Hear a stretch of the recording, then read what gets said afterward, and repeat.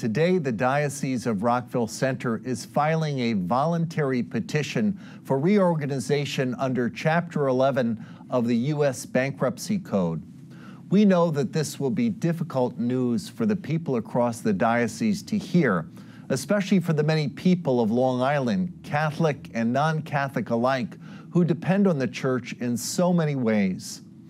Parishioners will certainly have many questions, and so it is important that we take the time to understand what this decision means in order to avoid misconceptions. In the year since the passage of the Child Victims Act, more than 200 lawsuits alleging sexual abuse have been filed against the Diocese of Rockville Centre. What became clear was that the diocese was not going to be able to continue to carry out its spiritual, charitable, and educational missions if it were to continue to shoulder the increasingly heavy burden of litigation expenses associated with these cases.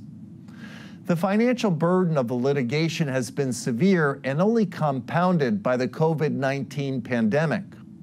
Our goal is to make sure that all clergy sexual abuse survivors, and not just a few who were first to file lawsuits, are afforded just and equitable compensation. It is hoped that this offers survivors the possibility of some measure of healing from these horrific abuses. We concluded that a Chapter 11 filing was the only way to ensure a fair and equitable settlement for all abuse survivors.